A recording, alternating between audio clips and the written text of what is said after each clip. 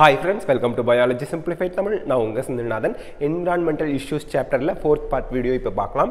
Agro chemicals and their effects so இப்போ agro chemicals அப்படின்னாலே என்ன அர்த்தம்? Chemicals used in agriculture agriculture இந்த விவசாயம் பண்ணுறதுக்கு கெமிக்கல்ஸ் யூஸ் பண்ணுறோம் இல்லையா? அதனால நமக்கு என்ன எஃபெக்ட் வருது அப்படின்னு பார்க்க போகிறோம் இந்த wake of green revolution so green revolution வந்து வந்ததுக்கு அப்புறம் தான் நமக்கு வந்து உணவு பற்றாக்குறை தீர்ந்துச்சு. இருந்தாலும் க்ரீன் ரெவல்யூஷனில் என்ன நடந்துச்சு? Use of inorganic fertilizers and pesticides has increased many fold for enhancing crop production இப்போது நம்ம நாட்டில் வந்து மக்கள் தொகை ஜாஸ்தி ஆகிடுச்சு ஆனால் உணவு பற்றாக்குறை வந்துருச்சு. அதுக்கு தான் க்ரீன் ரெவல்யூஷன் கொண்டு வந்தாங்க. ஆனால் அந்த பசுமை புரட்சி அந்த க்ரீன் ரெவல்யூஷனில் என்ன பயன்படுத்தினாங்க? அதிகமான இன்ஆர்கானிக் ஃபர்டிலைசர்ஸ் அண்ட் பெஸ்டிசைட் பூச்சிக்கொல்லிகள் அதிகமாக பயன்படுத்தினாங்க. ஸோ தட் க்ராப் வந்து அதிகமான ஈல்டு நமக்கு கொடுக்கும் அப்படிங்கிறதுனால பெஸ்டிசைட்ஸ் பெஸ்டிசைட்ஸ்னால் பூச்சிக்கொல்லி ஹெர்பிசைட்ஸ்னால் களைக்கொல்லி தேவையில்லாத செடிகளை வளர விடாமல் பண்ணுறது ஃபஞ்சிசைட் ஃபங்கஸ் எல்லாம் போய் கொள்வது ஆர் பீயிங் இன்க்ரீசிங்லி யூஸ்ட் இதெல்லாம் அதிகமாக இந்த கெமிக்கல்ஸ்லாம் அக்ரிகல்ச்சரில் பயன்படுத்த ஆரம்பித்தாங்க அக்ரிகல்ச்சர்னால் லேண்டில் போடுறது தாங்க விளைநிலத்தில் போடுறது தான். These incidentally incidentally are also toxic to non target organisms target organism யார்? பூச்சிங்க. பூச்சி இல்லாத ஆர்கானிசத்துக்கு ஆர்கானிசத்துக்கும் இது விஷம் தான் okay that are important components of the soil ecosystem யார் மற்ற ஆர்கானிசம் எக்ஸாம்பிளுக்கு ஒரு பூச்சி செடிக்கு நோயை ஏற்படுத்துது செடியை பிடிச்சி திங்குது உடனே அந்த பூச்சிக்கு விஷத்தை போட்டு பூச்சை கொள்றீங்க மண்புழு உழவர்களின் நண்பன் ஃப்ரெண்ட் ஆஃப் ஃபார்மர்ஸ் அவங்களும் அந்த விஷத்தால் செத்து போவாங்க அதுதான் இங்கே சொல்கிறாங்க do you think these can be biomagnified in the terrestrial ecosystem so பயோமேக்னிஃபைட்னா நம்ம பார்த்தோம் இல்லையா குட்டி பிளான்ஸு குட்டி இதில் கம்மியாக இருக்கும் அந்த கெமிக்கல்ஸு அதுக்கப்புறம் வந்து பார்த்திங்கன்னா ஹெவி மெட்டல்ஸ் கம்மியாக இருக்கும். அதை சாப்பிட்றவங்களுக்கு இன்னும் கொஞ்சம் ஜாஸ்தியாகும். அவங்கள சாப்பிட்றவங்களுக்கு இன்னும் ஜாஸ்தியாகும். இதுதான் biomagnification we know what the addition of increasing amount of chemical fertilizers can do to aquatic ecosystem அந்த யூட்ரோஃபிகேஷன்லாம் நடந்துச்சுல்ல அது. வைசி வர்ஸா யூட்ரோஃபிகேஷன் அதாவது யூட்ரோஃபிகேஷனுங்கிறது என்னது?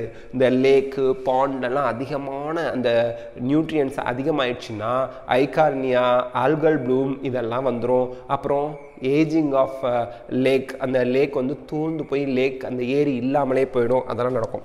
The current problems in agriculture are therefore extremely grave பயங்கரமாக ஆபத்தானதாக இருக்குது இப்போதைக்கு இருக்கக்கூடிய agro agro chemicals agro chemicals use பண்ணனால அக்ரிகல்ச்சரில் இருக்க ப்ராப்ளம் மிக பயங்கரமாக இருக்குது next case study of organic farming so இப்போது அக்ரிகல்ச்சரில் கெமிக்கல் யூஸ் பண்ணால் நிறைய பிரச்சனைகள்லாம் வருது. அப்போது அதுக்கு ஒரு சொல்யூஷன் என்ன? அதுதான் இப்போ நம்ம பார்க்குறது organic farming integrated organic farming is a cyclical zero waste procedure. Cyclicalனா திருப்பி திருப்பி பயன்படுத்துறது அதான். ஜீரோ வேஸ்ட்னா அதுலேருந்து வர பொருளை நம்ம இன்னொரு ஃபார் எக்ஸாம்பிள் நெல் விளைவிக்கிறோம். நெல்லை அறுத்ததுக்கு அப்புறம் இருக்கக்கூடிய அந்த வைக்கோலை மாட்டுக்கு தீவனமாக போடுவாங்க. மாடு தின்னுட்டு சாணி போடுது. அந்த சாணியை மக்க வச்சு திறமும் உரமாக யூஸ் பண்ணுவாங்க. இதுதான் ஜீரோ வேஸ்ட் வேஸ்ட்டே இல்லாமல் பண்ணிக்கிறது. Where waste products from waste products from ஒரே நிமிஷங்க. waste products from waste products from uh, எங்க uh, waste products from uh, one process are cycled in as nutrients for other process this allows the maximum utilization of resource and increases the efficiency of production ramesh chandra dagar ramesh chandra dagar a farmer in sonipet haryana is doing just this இதை தான் பண்ணுறாரு ஒரு ப்ராசஸில் வர வேஸ்ட்டை இன்னொரு ப்ராசஸ்க்கு பயன்படுத்திக்குவாங்க. ஹி இன்க்ளூட்ஸ் பீ கீப்பிங் பீ கீப்பிங்னா அந்த தேன் பூச்சி வளர்க்குறது. டெய்ரி மேனேஜ்மெண்ட்னா பால் பால் சார்ந்த பொருட்கள். வாட்டர் ஹார்வெஸ்டிங்னா தண்ணி வந்து எடுத்துக்கிறது. கம்போஸ்டிங் அப்படின்னா உரம் தயாரிக்கிற அந்த இது. And agriculture in a chain of process which support each other and allow and extremely economical and sustainable venture so அங்கே வேஸ்ட்டே இல்லாமல் அவர் திருப்பி திருப்பி மற்ற மற்ற இதில் எல்லாம் எடுத்து பீ கீப்பிங்கில் வர waste dairy manage management dairy மேனேஜ்மெண்ட்லேருந்து வரது வாட்டர் ஹார்வெஸ்டிங்லேருந்து வரது கம்போஸ்டிங் கம்போஸ்டிங்லேருந்து வரது அக்ரிகல்ச்சர்னு மாற்றி மாற்றி யூஸ் பண்ணிக்கிறாரு.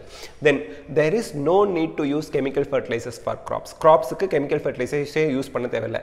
ஆஸ் கேட்டில் எக்ஸ்கிரீட்டா கேட்டில்னா அந்த கால்நடைகள் அதோட சாணியை வந்து மென்யூராக யூஸ் பண்ணிக்கிறாங்க உரமாக யூஸ் பண்ணிக்கிறாங்க.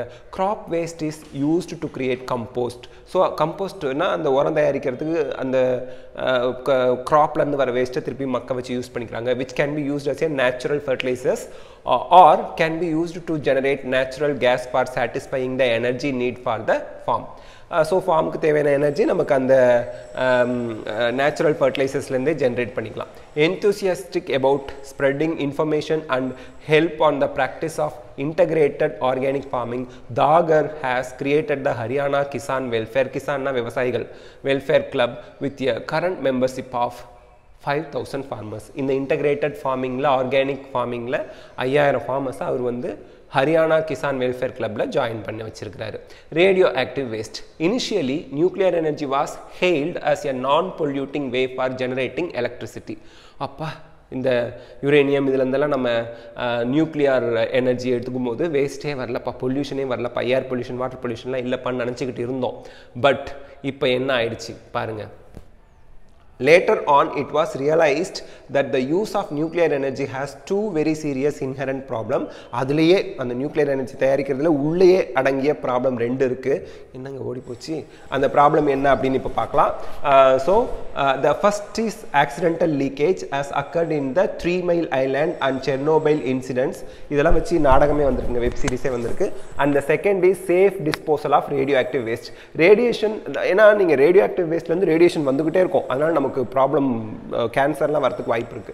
Radiation that is given off by nuclear waste is extremely damaging to organisms ஆர்கானிசத்தை பயங்கரமாக பாதிக்கும் because it causes mutations at a very high rate at high doses nuclear radiation is lethal லீத்தல்னா உயிரே போயிடும். லீத்தல்னா leads to death இறந்து போயிடுவாங்க. But at lower doses it creates various disorders higher டோசேஜில் உயிரே போயிடும்.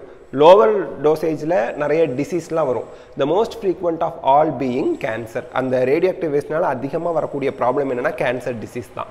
Therefore nuclear waste is an extremely potent pollutant and has to be dealt with utmost caution பாதுகாப்பாக பார்த்து சூதானமாக பயன்படுத்தணும். இல்லைனா மிகப்பெரிய விளைவுகளெல்லாம் ஏற்படுத்தும். It has been recommended that storage of nuclear waste after sufficient pretreatment நல்லா ட்ரீட் பண்ணதுக்கப்புறம் தான் அதை ஸ்டோரேஜ் பண்ணி வைக்கணும்.